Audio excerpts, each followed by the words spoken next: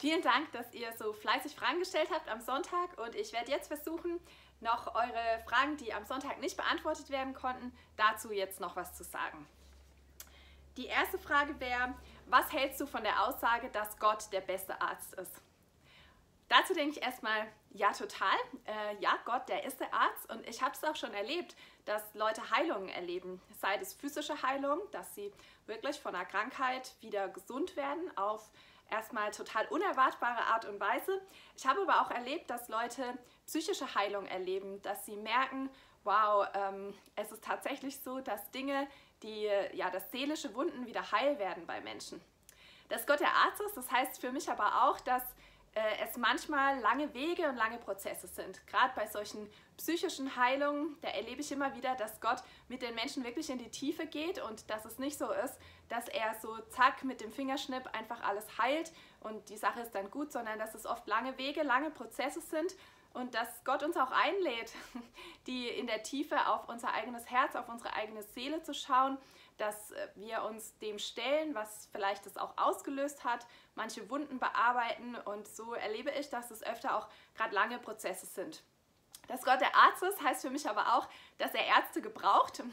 Und so würde ich sagen, das finde ich ganz wichtig, dass auch das, wo wir durch Ärzte, durch Ärztinnen und Ärzte in unserer Zeit Heilung erleben, dass auch das was ist, was Gott schenkt. Da möchte ich das überhaupt nicht auseinanderdividieren und sagen, ja, das eine, das ist die übernatürliche Heilung von Gott und das andere, das waren nur die Ärzte, sondern ich denke, wie Gott uns Heilung zukommen lässt, ist ganz oft eben dadurch, dass er Ärztinnen und Ärzte gebraucht mit ihrem Wissen und das, äh, da würde ich sagen, dadurch segnet uns Gott und dadurch schafft er, dass Heilung in unser Leben kommt. Dass Gott der beste Arzt ist, das heißt für mich aber auch, dass es nicht bedeutet, dass alle Wunden oder auch alle Krankheiten in diesem Leben tatsächlich heil werden. Ja, manchmal erleben wir das, dass übernatürliche Heilung geschieht, aber ich würde sagen, manches das bleibt bis zum Ende unseres Lebens schmerzhaft offen. Manche Wunden, da erleben wir, dass Jesus nicht der Arzt ist in dem Sinne, dass er Dinge jetzt schon heilt. Jesus hat auch im Neuen Testament, da hat er Menschen manchmal geheilt, aber Jesus hat nicht alle Kranken geheilt und hat nicht alle Menschen wieder gesund gemacht. Aber was wir erleben, dass wir mit Jesus Christus einen starken Begleiter haben in Zeiten von der Krankheit und dass er sagt, eines Tages, da werde ich insofern der Arzt sein, dass ich wirklich alles heile. So laufen wir zu auf eine Welt ohne Schmerz und ohne Krankheit, in der wir erleben, dass Gott dann wirklich eines Tages alle Wunden heilen wird und alle Krankheiten wieder gut macht. Ja, Gott, der ist der beste Arzt und äh, das erleben wir manchmal jetzt schon, wie das so vorzeichenhaft hereinbricht in diese Welt. Leute gesund werden, Leute geheilt werden, aber nicht immer ist es jetzt schon so, dass alle Krankheiten geheilt werden, sondern wir warten auf eine neue Schöpfung, auf, darauf, dass Gott diese Welt und unseren Körper und unsere Herzen und unsere Seelen komplett neu macht und dann werden wir vollständige Heilung erleben. Die zweite Frage wäre, wie gehst du mit Bestrafungsgeschichten um? Also gerade zum Beispiel mit sowas wie der Sintflutgeschichte mit Hananias und Sapphira. Ich denke, dass diese Frage ein bisschen daraufhin hinabzielt, dass ich in einem Vortrag gesagt habe, dass wir, ja, dass es schwierig ist, Dinge, also Ereignisse im 21. Jahrhundert eindeutig als Strafe Gottes zu bezeichnen. Also jetzt zu sagen, äh, ich kann ganz genau sagen, die Corona-Pandemie, das ist eine Strafe von Gott. Wir erleben das in der Bibel und wir sehen das, dass äh, Gott Menschen straft, zum Beispiel in der Sintflutgeschichte. Das, da finde ich aber ganz wichtig dazu zu sagen, dass Gott nicht einfach straft, weil er so sagt, ja, jetzt brennt hier einfach mal mein Zorn durch, sondern dass seine Strafe eigentlich immer ein Ruf auch zur Umkehr ist. Und er straft deshalb, weil er die Menschen deshalb aufwecken will und weil es sein Mittel ist, den Leuten zu zeigen, kehrt euch zu mir um. Äh, wendet euch zu mir und dann wird euer Leben ganz anders zum Aufblühen kommen. Dann lebt ihr nach den Ideen, nach den Geboten, die ich euch gegeben habe. Der Unterschied zwischen damals und heute ist, dass wir in der Bibel da eine eindeutige Deutung haben, dass da ganz klar gesagt wird, dieses und jenes Ereignis, das ist eine Strafe von Gott. Und so glaube ich, dass wir jetzt in unserer Zeit im 21. Jahrhundert eben nicht so eindeutig sagen können, ja, dieses und jenes Ereignis, das ist sicher eine Strafe von Gott, weil es eben auch Leid gibt und das sehen wir auch in der Bibel, dass Jesus an manchen Stellen sagt, nein, es, äh, da ist schreckliches Leid da, es ist aber eben keine Strafe von Gott. Also deshalb denke ich, dass es sehr, sehr schwierig ist, das in unserer Zeit so eindeutig zu äh, zu deuten und ganz klar zu sagen, ja, das ist eine Strafe von Gott.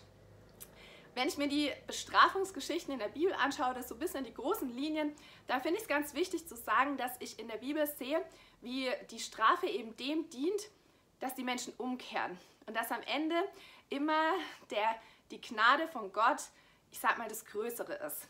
Am Ende von der Sintflutgeschichte, da sagt Gott, solange die Erde steht, soll nicht aufhören Saat und Ernte, Frost und Hitze. Da sagt Gott sowas wie, ich lerne mit dem Menschen, der so gebrochen und der so voller Bösem ist, ich lerne mit diesem Menschen zu leben. Und wir sehen auch im Alten Testament, wie die Geschichte von Gott und seinem Volk weitergeht. Ja, Gott, der straft das Volk auch immer wieder und da würde ich die Strafe auch als sowas sehen, wo er die Menschen die Konsequenzen ihres Handelns spüren lässt. Also es ist nicht so, dass er völlig einfach mal so willkürlich jetzt so einen Stein auf die herabwirft und sagt so, so, äh, jetzt bin ich irgendwie zornig geworden, sondern er lässt sie die Konsequenzen ihres bösen Handelns spüren, mit dem Ziel, dass sie sich zu ihm zuwenden. Mit dem Ziel, dass sie seine Gnade erkennen und seine Gnade kennenlernen. Und so steht am Ende immer die Gnade. Und das ist, würde ich sagen, Gottes Wille, dass er nicht jetzt sagt, ja, jetzt bin ich mal wütend und äh, bestrafe euch jetzt einfach mal so, weil ich gerade Bock dazu habe, sondern das Ziel ist, dass Menschen die Liebe Gottes kennenlernen. Und wir sehen, wie Gott bereit ist, dafür selber einen hohen Preis zu zahlen. Sei das im Alten Testament schon, dass er sich immer und immer wieder dem Volk zuwendet. Und dass es ihm manchmal das Herz umdreht und er sagt, ja, aber ich kann nicht anders, ich kann nicht anders, als dieses Volk zu lieben. Und wir sehen das letztendlich in Jesus Christus, wo Gott selber sagt, da nimmt er die Strafe selber auf sich. Also Gott, der ist nicht der unbeteiligte, wütende Gott, sondern er sagt, ich werde einer von euch und ich nehme die Strafe, ich nehme das, wo Gott auch sagt, zu der Ungerechtigkeit und zu dem Leid, nein, das ist nicht okay, so wie es ist. Das nimmt er auf sich, der saugt das alles in sich auf und man könnte sagen, er stirbt, er krepiert selber an der Ungerechtigkeit. Also Gott ist, das sehen wir in Jesus Christus, der ist bereit, die Strafe für ja, alles Böse und für die, ganzen, für die ganze Zerbrochenheit und für, die, für den ganzen Schmerz, der ist bereit, diese Strafe selber zu zahlen. Und das finde ich total beeindruckend, dass äh, Gott eben die Strafe selber zahlt und dass er derjenige ist, der bereit ist, selber zu leiden und selber die Gebrochenheit auf sich zu nehmen, damit wir seine Gnade und seine Liebe kennenlernen.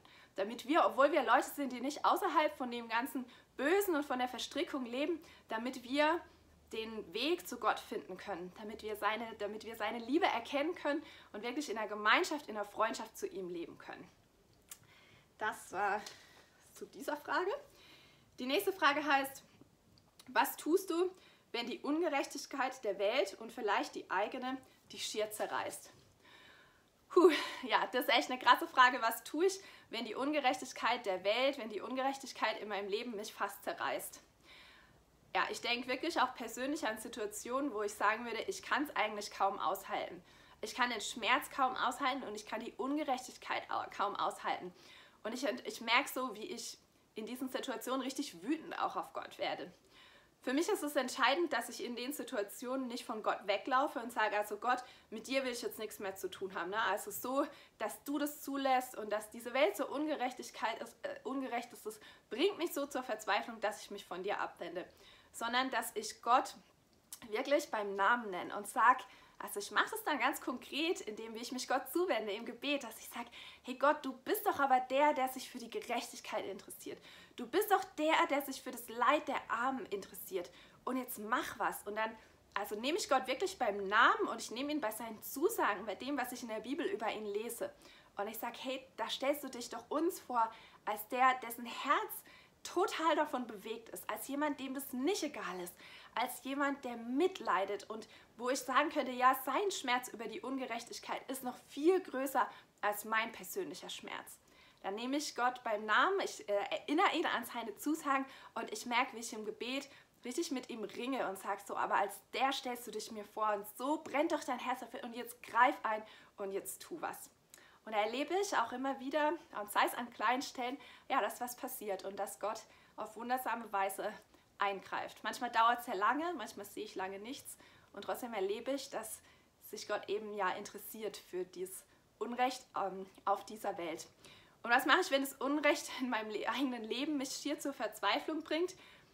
Ja, also da erschrecke ich immer wieder drüber, wie eigentlich, wie es in meinem eigenen Herzen aussieht und ich muss auch sagen, wie wenig ich manchmal mir überhaupt dessen bewusst bin, wie viel Ungerechtigkeit von mir selber ausgeht, wie viel Lieblosigkeit von mir selber ausgeht. Und ich frage Gott manchmal, dass er mich daran erinnert, wie es in meinem eigenen Herzen aussieht. Und ich merke aber, na, dann denke ich manchmal, ja, ich, was ist jetzt die Lösung? Mich irgendwie mehr anstrengen und hier so das besser versuchen und versuchen, noch ein besserer Mensch zu sein.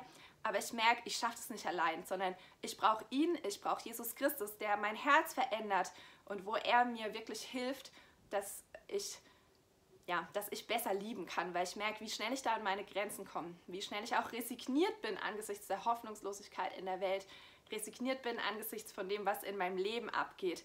Da brauche ich Jesus Christus, dass er mein Herz verändert, dass er mir die Kraft gibt zum Lieben, dass er mir die Kraft gibt, weiterzumachen und wirklich mich einzusetzen für Gerechtigkeit.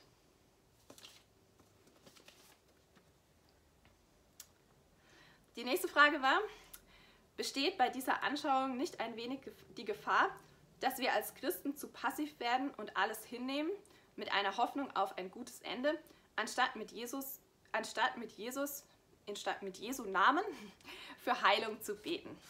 Also ist es nicht so, dass wenn wir auf eine erneuerte Welt hoffen, dass uns das am Ende passiv macht. Dass wir so ein bisschen die Hände in die Hosentaschen stecken und sagen, na gut, äh, Gott wird einmal kommen, er wird alles neu machen Jetzt kann ich mich hier zurücklehnen und nichts tun.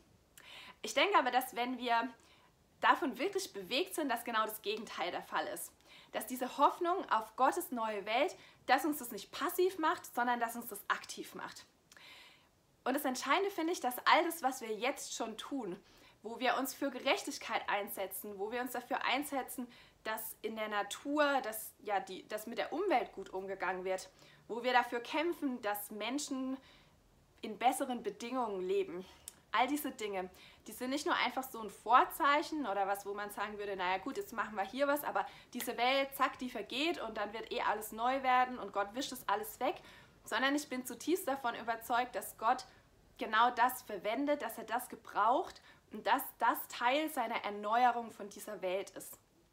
Deshalb denke ich, wenn wir das, was Gott vorhat mit dieser Welt, wenn wir das richtig verstehen und wenn unser ja, wenn wir tief im Innern davon bewegt sind, dass uns das gerade nicht passiv macht und es keine billige Jenseitsvertröstung ist, sondern dass uns das aktiv macht und sagt, hey, wir fangen jetzt schon an und wir äh, vertrauen darauf, dass Gott diese Dinge dann auch gebrauchen und verwandeln wird. Also ich denke, wenn wir verstehen, dass äh, ja Gott dann einmal, dass seine Gerechtigkeit die Erde erfüllen wird, dass er die ganze Natur heilen wird und dass es eben eine Hoffnung für diese Welt gibt und für die Strukturen in dieser Welt, dann denke ich, dass uns das gerade nicht passiv macht, sondern dass uns das aktiv macht, uns wirklich für diese Welt und für Gerechtigkeit in dieser Welt einzusetzen. Die letzte Frage heißt, wenn ich weiß, dass Gott mich liebt, wie viel darf ich klagen? Was hält Gott aus? Wow, voll die persönliche Frage. Wie viel darf ich klagen, wenn ich weiß, dass Gott mich liebt? Wie viel hält er aus? Persönlich bei mir merke ich, dass wenn ich Grund habe zu klagen, wenn ich zum Beispiel ja, enttäuscht bin von Gott, wenn ich durch eine schmerzhafte Zeit gehe, dann ist die Versuchung so ein bisschen da, dass ich mich von Gott abwende. Dass ich sage, hey, ich bin so sauer auf dich, ich will jetzt eigentlich gar nicht mehr mit dir reden. Und ich glaube, das ist die Gefahr, das erlebe ich in meinem eigenen Leben so, dass sich dann was zwischen mich und Gott stellt. Also ne, wie in so einer Beziehung, wenn man aufhört miteinander zu reden, dann ist die Beziehungsstörung am größten wohingegen, wenn man miteinander ringt und wenn man miteinander streitet und wenn man miteinander diskutiert, dann ist es immer noch besser, weil man miteinander im Gespräch ist. Und so denke ich auch, dass das Schweigen oder das sich abkehren von Gott, dass da die Gefahr viel größer ist, dass ja was so zwischen sich zwischen die Beziehung stellt und dass das Vertrauen im Prinzip so ein bisschen ja zugrunde geht ich bin davon überzeugt, Gott weiß, was in unserem Herzen sowieso passiert und wie es uns geht mit dem ganzen Ding. Gott, Gott kennt unser Herz, unser Innerstes. Und deshalb würde ich dich einladen und sagen, hey, sag ihm das. Gott sieht in dein Herz, Gott kennt dich, aber der schaut nicht mit einem verurteilenden Blick auf dich, sondern der schaut auf dich mit einem Blick voller Liebe und sagt, hey, ich will, dass du dich mit deiner Wut und mit deinem Schmerz wirklich an mich wendest. Deshalb die Einladung, ja, ich glaube, da gibt es nichts, was man nicht sagen könnte oder nichts, was zu unfromm wäre oder Gedanken, die irgendwie zu ja, unangemessen sind, sondern ja, tu das, wend dich an Gott, mit der Klage und ich finde es sehr beeindruckend, wie wir in den Psalmen so Vorbilder dafür haben, wie wir beten können und die nehmen kein Blatt vor den Mund. Die hauen es Gott wirklich einfach so, ja, wie man es echt sagen würde, vor den Latz und knallen ihm das hin, aber die sind im Gespräch mit Gott. Und deshalb ist die Einladung an dich, oder dazu möchte ich dich ermutigen, bleib im Gespräch mit Gott. Lass das Gespräch nicht abreißen, sei ehrlich, weil Gott kennt dein Herz und zeig ihm was, sag ihm, was in deinem Herzen gerade vorgeht und bitt ihn, dass er dir genau darin begegnet und dass dein Herz so zur Ruhe kommt und zu einem neuen Frieden findet. Vielen Dank.